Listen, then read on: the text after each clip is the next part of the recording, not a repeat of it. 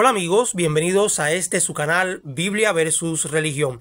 No se pierda este programa porque voy a traer un texto que destruye por completo el celibato del clero, esta doctrina que tanto daño está haciendo hoy a la Iglesia Católica. Pero también voy a enseñarles la versión de Juan Straumbinger y la nota que aparece con respecto al celibato abordaré una cuestión importante. ¿Qué dijeron los padres de la Iglesia sobre contraer segundas nupcias? Pues existe el criterio de que no podía volverse a casar un superintendente en la congregación. Por último, ¿será correcto que las Biblias Reina Valera 60, Biblias católicas, tengan la palabra diácono, obispo en estas traducciones? Será entendible este término y corresponderá con el contexto del cristianismo del primer siglo? Esto y más lo abordaremos hoy, así que no se pierda este video y acompáñenos hasta el final.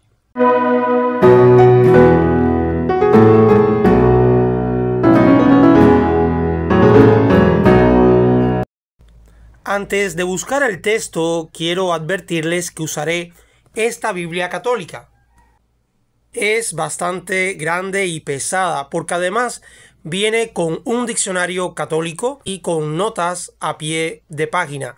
La versión es la de Juan Straubinger. Este erudito no solo va a traducir la palabra obispo, la misma que aparece en Reina Valera 60, sino que además va a introducir en la nota un comentario que es bastante polémico para muchos católicos. Y no solamente lo va a hacer Straubinger, también en otras Biblias católicas les sorprenderá lo que dicen sobre el celibato en el primer siglo. Comencemos.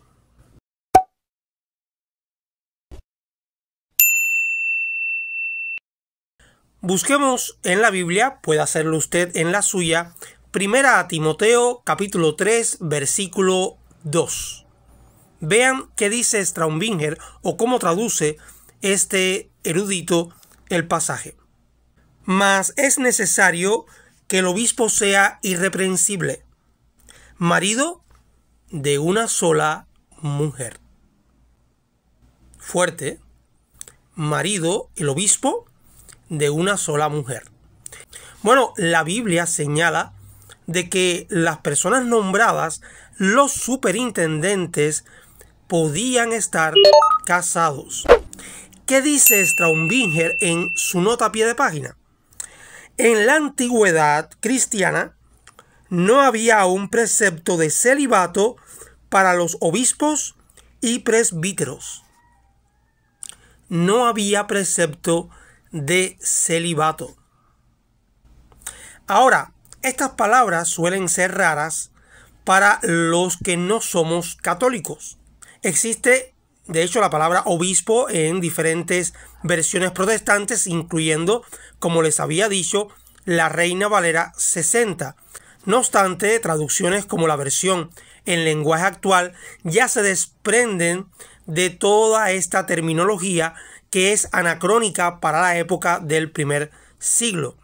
Y digo que es anacrónico porque el término griego, según este interlineal griego-español, por las Sociedades Bíblicas Unidas, episcopón, supervisor, que es lo que significa superintendente, nada tiene que ver con lo que significa hoy episcopado, por ejemplo, lo que significa hoy obispo, nada, pero nada con el contexto del primer siglo. A eso me refiero, no que la palabra episcopo no aparezca en el texto griego, sí aparece, pero con un significado muy diferente al actual. De hecho, la Biblia, palabra de Dios para todos, esta que ven acá, es una traducción en paráfrasis, va a decir, es necesario que los dirigentes ya han quitado la palabra obispo, les decía, es anacrónica, pero quizás usted como católico diga, ah, usted que no tiene nada que ver con el catolicismo, claro que me va a decir que la palabra obispo no debe estar ahí. Ahora, es bueno que reflexionen en el contexto en que se escribe la Biblia del siglo I. No estamos hablando de la Edad Media. Y es importante porque nada más y nada menos que esta Biblia que ven acá, sí, la segunda edición de la Biblia de Jerusalén, aceptada incluso por los católicos más conservadores. ¿Qué va a decir la nota a pie de página? Episcopo no corresponde todavía a obispo en sentido actual, que por lo demás no se menciona como tampoco los presbíteros. ¿Notaron? Es totalmente anacrónico estos términos usados no solamente en Biblias católicas, sino también en la muy famosa Reina Valera 1960. Otra curiosidad la encontramos en esta otra Biblia católica, muy conocida en Latinoamérica, especialmente en México, la versión de Agustín Magaña. Magaña en su nota a pie de página va a decir lo siguiente. Obispos y diáconos podían casarse. Esto no lo está diciendo un protestante, un testigo de Jehová, un mormón, no, no, no, no, no. Lo está diciendo Agustín Magaña.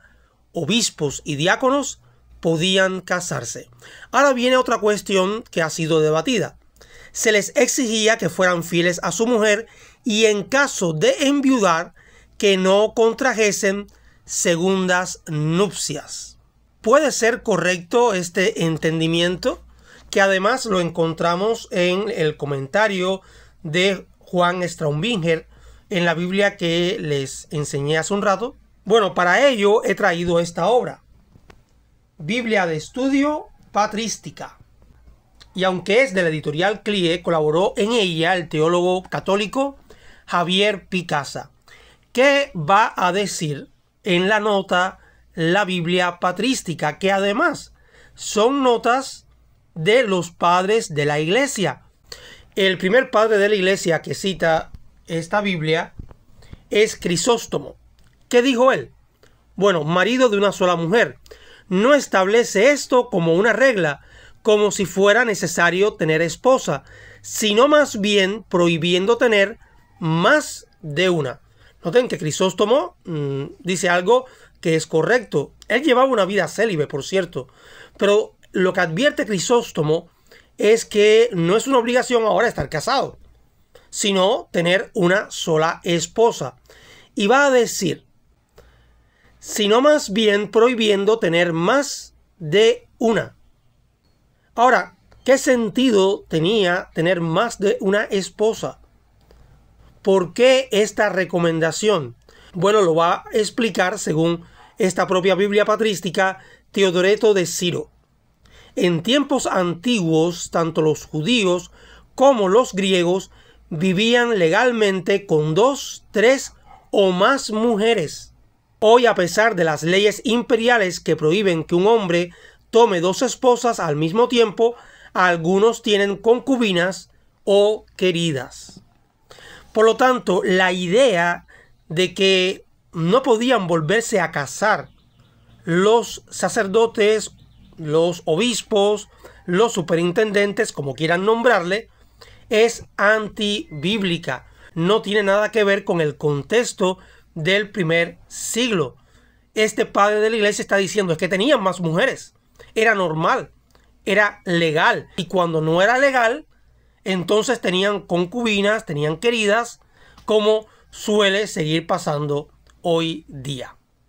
Por tanto, hermanos, si alguien le dice que el celibato es bíblico, ya saben qué Biblias usar y qué texto es destructor por completo de esta enseñanza y doctrina de hombres. Esto es, mis amigos, Biblia versus religión.